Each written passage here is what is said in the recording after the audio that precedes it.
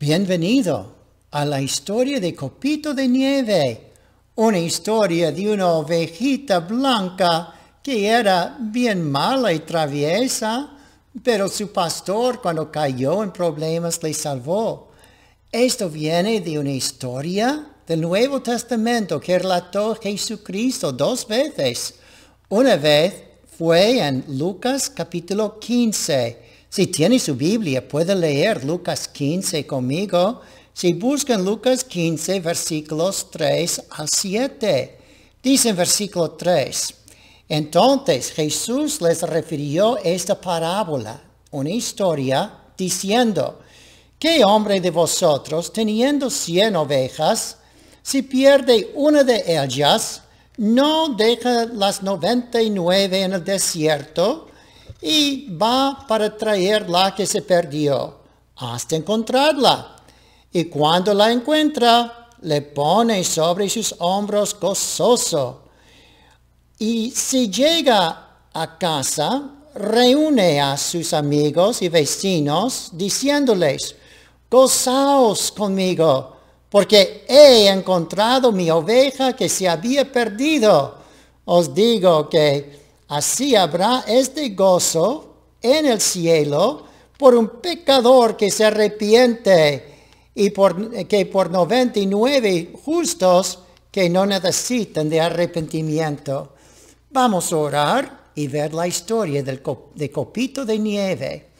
Nuestro Padre Celestial, gracias por estas historias en la Biblia Aquí no sabemos qué era el nombre de la oveja en la parábola de Lucas, pero vamos a ponerle este nombre copito de nieve y ver una lección de cómo el pastor, el buen pastor Jesús nos ama a cada uno de nosotros y se sacrificó a sí mismo en morir en la cruz para salvarnos de nuestro pecado, llevarnos al redil, que es el cielo, nuestro hogar eterno.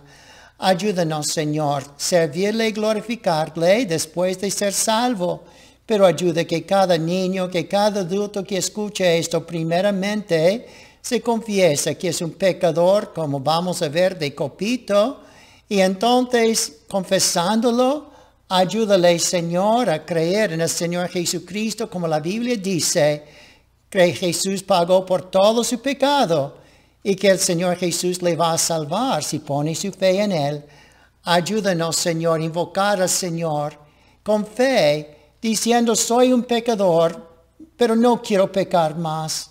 Cámbiame, Señor, perdóname de mi pecado y un día confío en ti para llevarme al cielo. En el nombre de Jesús. Amén. Amén. La historia de Copito de Nieve. Soy un corderito llamado Copito. Mi pastor me llamó así porque dice que soy el cordito más blanco que ha visto. Nací en la primavera cuando todas las plantas florecían y los pájaros cantaban felices y toda la naturaleza radia radiante. Yo no sabía lo que era un copo de nieve, pues en nuestro país de la Tierra Santa, nieve tan solo está en las cumbres más altas. Pero un día sí que supe lo que era nieve. Me sucedió algo bastante feo en aquella ocasión. Todas las mañanas el pastor nos llevaba a pastar. Yo trataba siempre de salir corriendo primero de la Prisco cuando el pastor abría la puerta. Apenas podía esperar que llegase ese momento más feliz. Mis patitas querían saltar y correr y ansiaba además deleitarme con el pastito dulce y tierno. A menudo el pastor me decía, Copito, no te, no te apures tanto, pero yo sabía que me lo decía porque me amaba.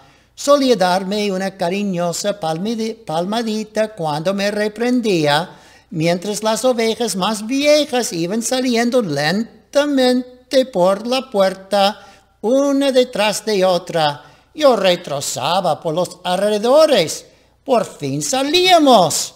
Debíamos recorrer un sendero entre las montañas hasta llegar al lugar de pastoreo y que a trechos era difícil recorrerlo. Yo estaba seguro que debían existir lugares muchísimo mejores que esos rocosos por donde nos conducía el pastor. Las ovejas viejas, bastante tontas en mi opinión, ni miraban siquiera los tentadores pastos que abundaban a la derecha y a la izquierda.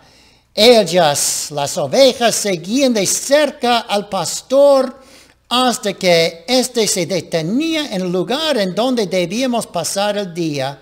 Se detenían y empezaban entonces a pastar. Casi todas permanecían cerquita del pastor todo el día. Yo francamente pensaba que eran muy tontas, pues por mi cuenta podía encontrar lugares mucho más agradables. No sé, porque siempre me parecía el pastito más dulce y tierno, más lejos yo pensaba de donde yo me hallaba. En cierta ocasión vi un pastizal tentador al pie de unas rocas elevadas estaba seguro que mis ágiles patitos me, permitirían trepar hasta allá, pero tuve mala suerte, pues me quedé enganchado entre las rocas cuando estaba a mitad del camino. No podía moverme. Me alegré mucho al el pastor cuando él vio lo que me había ocurrido y vino y me enganchó por el cuello con su callado y me sacó de tan molesta situación. Ah. Pero un día que se alborotó el rebaño, del bosque cercano salía un león y nos dio a todos un buen susto. El pastor, siempre vigilante, le alcanzó con un set ondazo, y mientras el león se retrocedía con dolor, el pastor lo persiguió con un pesado garrote hasta que desapareció por la espesura nuevamente. Ese día, sí, yo me no me alejé del pastor, pero yo no podía estarme quieto. Me gustaba adelantarme continuamente porque caminaban tan despacito los demás ovejas. Yo disfrutaba siempre primero de los pastos más tiernos. A veces el pastor parecía enojarse conmigo y me reprendía porque, porque me disparaba adelante y desaparecía de su vista con, todo con tono severo me llamaba y qué fastidio me daba escuchar su voz. Debía entonces regresar al lado suyo y quedarme al oír, copito, copito, ven. Mordisqueaba un rato los pastitos cercanos, pero un día no obedecí la llamada del pastor. Un día se estaban tornando más frescos, pues se acercaba el invierno en la Tierra Santa. Para mí, mis adentros pensaba, yo soy el cordero bastante grande ya, que puedo gozar de un poco más de libertad. Al aire fresco me llamaba el vigor. No podía permanecer quieto y continuamente saltaba y brincaba. El pastor notó mis brillos y una mañana, observando mis cabriolas, me dijo, Copito, ten cuidado hoy, veo mucha picardía en tus ojos, quédese cerca del rebaño, pues hoy me parece que tendremos tormenta. Las palabras del pastor me irritaron realmente. Pensaba él que yo era siempre el mismo indefenso corderito. Sí, sí que tenía picardía en mi interior, me sentía grande ya. Yo no cesaba de moverme de aquí para allá. Hoy sí que me divertiría en serio. Les mostraré a estas viejas sonzas lo que es la vida, yo pensé. Esa mañana el pastor nos llevó a un prado horrible a mis ojos. No estaba alejado de redil, ni tenía pasto verde en abundancia. Me propuse salir a buscar pastos buenos por mi propia cuenta. Jugué cerca de mi mamá oveja y cuando noté que tanto ella como el pastor estaban distraídos, me escurrí y pronto estuve fuera de su vista, detrás de unas rocas muy grandes. Levanté la cabeza. ¡Qué pastos verdes y tiernos había más arriba! Eso era lo que yo hacía tanto tiempo anhelaba saborear. Comencé a trepar y cada rato me detenía a mordisquear lo que encontraba en mi paso. De pronto escuché un ruido que por unos momentos me tranquilizó, pero seguía luego corriendo hacia arriba, como me divertí saltando y jugando entre las rocas. Pero cuando levanté la cabeza para buscar más pasto en las rocas más altas, me di cuenta que el sol ya no brillaba radiante. El cielo estaba nublado, pues tupidas nubes avanzaban velozmente. Parecía que estaba anocheciendo y sin duda convendría regresarme cerca del resto del rebaño. Pero dentro, don, pero ¿dónde estaban ahora las demás ovejas? No las veía por ninguna parte. Oh, y había dado tantas vueltas que ahora no sabía por dónde bajarme.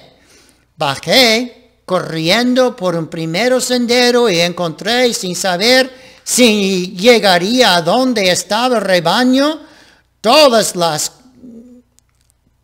laderas de la montaña parecían iguales.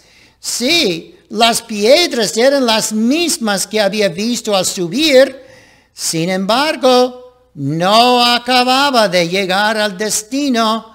Comprendí que ese no era el camino, pues este precipicio por que, que ahora tenía por delante no estaba al ascender. No podría mirar hacia abajo, que pues me mareaba. ¿Qué podría hacer? La diversión se había terminado. Estaba solo. Sin duda, allá abajo, el pastor estaría juntando las ovejas para llevarles a redil que se desató la tormenta, antes que se desatase la tormenta que se avecinaba, di medio vuelto y comencé a trepar en otra dirección. Desde las rocas de arriba alcancé a ver allá abajo el rebaño. Seguía de cerca el pastor que les guiaba sabiamente hacia el lugar seguro. Y aquí estaba yo lejos del resto, solo sobre la montañosa rocosa amenazado por una tormenta inminente. Asustado comencé a bardear mm, con esperanzas de que el pastor me oyese. Bah, bah. Pero estaba demasiado lejos. Volví a mirar hacia abajo yo no veía más el rebaño. Estaba pues solo en la montañosa desierta. Densas nubes negras cubrían, cubrieron el cielo. Comenzó a soplar un viento frío. Intenté bajarme nuevamente por la ladera que me pareció menos peligroso, Varias veces patiné sobre las lisas rocas, las espinas se enredaban y mi blanca lana arrancándome mechones despiadadamente. Varias veces sentí sus pinchazos en mi hocico parecían querer retenerme allí toda la noche. Empecé a correr y saltar más ligero, pero, pero resbalé y fui a caer violentamente sobre un arbusto espinoso. Mi lana tupida se enredó en las espinas así que por más que forcejé, no pude librarme. Desesperado luché por zafarme, pero todos los esfuerzos fueron inútiles y la tormenta se desató con furia. Era noche oscura. Comenzaron a caer grandes copos de nieve. Ahora sí que comprendí porque el pastor me había llamado copito de nieve los copos eran muy blancos, más blanca se confundía entre mi, más eran muy blancos, mi lana se confundía con ellos. Pero qué frío estaban. Al rato comencé a tiritear, el frío se tornaba inaguantable y, comencé entonces a pensar, las otras ovejas ya estarán seguros en el redil, calentitos y seguras. Se arrimaron, se arrimarán unos a otros y confortablemente pasarán esta noche tormentosa. Mientras yo aquí, sobre esta desierta montañosa, un tirito de frío, sí, sin duda mi madre me daría cuenta que yo no estoy y el pastor, cuando iba llamando sus nombres a cada una de las ovejas al entrar en el redil, me habría echado de menos y iría contando 95, 96, 97, 98, 99. Pero no podría contar 100 porque yo no estuve allí. Y al echar aceite sobre las heridas de las ovejas lastimadas durante el día, comprobaría que no está el corderito que siempre terminaba el día con varios rasguños. Creo que soy el corderito que le doy más trabajo, pero esta noche no será así, pues no estuve allí. Los copos continuamente cayendo abundantemente, el viento soplaba siniestramente entre las rocas, sacudiendo las planas cercanas. Yo no me quedaba fuerzas para berrear, mi voz caería de vigor, casi era ya un lamento agonizante.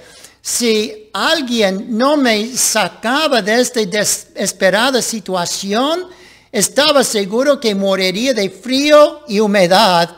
Pero, pero ¿quién se animaría a andar fuera en semejante tormenta? ¿A quién podría importarle que allá en la montaña hubiese un pobre corderito muriendo de frío?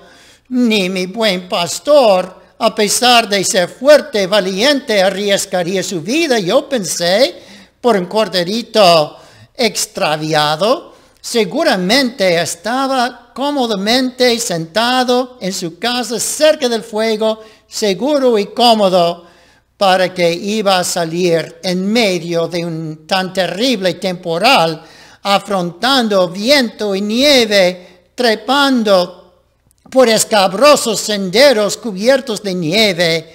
Yo no valía mucho, él no sería capaz de arriesgarse por mí, sin embargo, algo me decía allá en el interior que el pastor vendría esperando. Daba de tanto en gritito, un débil gemido que si acaso pudiese oírme. Oh, sí, no me engañaba. Era, era la voz del pastor, la que estaba escuchando. Me, me estaba buscando. Conocía perfectamente este llamado. Copito, copito. Qué voz maravillosa. Mas estaba soñando. Ah, ah, no, le oía ahora más cerca. El corazón empezó a latirme con fuerzas, haciendo un esfuerzo. Lloriqué. Ay, Aquí, aquí estoy. Volvió a llamarme y entonces le contesté con todas las fuerzas que pude. Por fin me oyó, luchando contra el viento arrastrándose sobre las rocas, llegó junto a mí. Estaba cansado, con frío, pues sin duda hacía mucho que andaba buscándome. Me sentí tan culpable, me afligí pensando que el pastor era tan bueno y tierno que estaba sufriendo por mi culpa. Las espinas había desagarrado sus manos y su rostro estaba herido por las malezas espinosas a pesar de sus heridas. Qué contento se puso cuando me encontró. Con cuidado y cariño me sacó de entre las espinas y metió en su saco grande y abrigador. Qué calentito me sentí allí dejé de tiritear, tiritar y me acorriqué confiado que los brazos del pastor me cuidarían. No recuerdo bien cómo hicimos el viaje de vuelta, solo sé que el viento silbaba por nuestro alrededor y que la nieve se había convertido en una fuerte y fría lluvia pero mi pastor no se detuvo, continuó haciendo frente a la tormenta hasta que por fin llegamos a casa sanos y salvos. Después de sacarme y calentarme cerca del fuego, oí que llamaba a mis amigos y les decía, alegraos conmigo, pues he hallado la oveja que se me había perdido. Esta noche sentí que ya no era el tonto corderito, sino que me había convertido en una oveja grande, arrepentido de todo mi pecado, pero confiado en el buen pastor para perdonarme, salvarme y cuidar de mí. Nunca más volvería a escaparme lejos del redil, y yo obedecería siempre la voz cariñosa y sabia de mi pastor. Esto se basa en Isaías 53, 6, que dice, todos como ovejas nos hemos descarriado, pero el Señor echó en él el pecado de todos nosotros. Nuestro pastor es el Señor Jesús, que nos guía, que nos llama por nombre, que quiere perdonarnos y salvarnos. Él dijo que sus ovejas oyen su voz y le siguen cuando creen en Él y llegan a ser sus ovejas. Antes de ser salvos, cada uno va por su propio camino, pero Jesús nos dice que Él es la puerta y debemos entrar por Él y ser salvos. En Juan capítulo 10, Él dio su vida por nosotros, dice allí. Él es el Cordero de Dios que quita el pecado del mundo por medio de su sangre derramada en la cruz. El buen pastor dejó el lugar, el hogar en el cielo, vino a la tierra, y murió por cada uno de nosotros. Nos buscó hasta hallarnos y nos salvó. Juan 3:16 dice, de tal manera amó Dios al mundo que ha dado su Hijo unigénito para que todo aquel que cree en Él no se pierda, mas tenga vida eterna.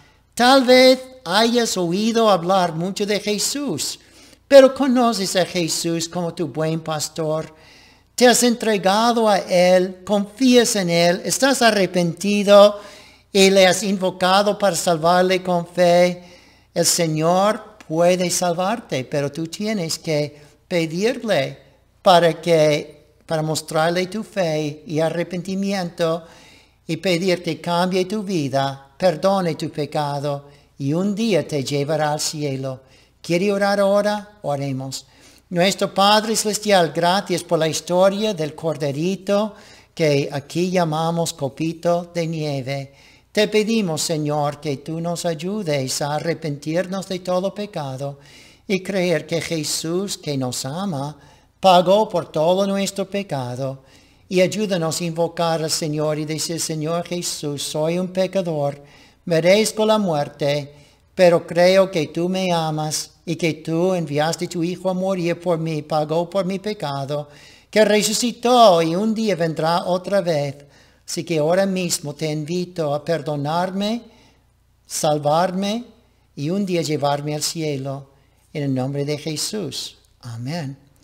Le animamos, si usted recibió al Señor Jesús, que lo diga a su familia y entonces pide que pueda venir la iglesia y cuando tenemos cultos en la iglesia, entrar en la clase de bautismo y puede prepararse un poco entendiendo la Biblia y más de la salvación y puede ser bautizado para mostrar que usted cree en el Señor Jesucristo.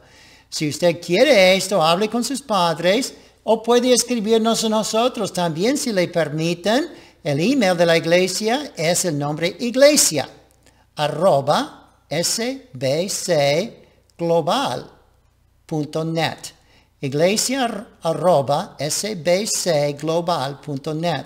Puede echarnos un email y podemos regocijarnos con usted o enviarles algunas materias que puede guiarle a estudiar la Biblia y a lo mejor dibujar cosas de la Biblia para ayudarle a amar más al Señor Jesús. Dios le bendiga grandemente. Bye bye. Adiós.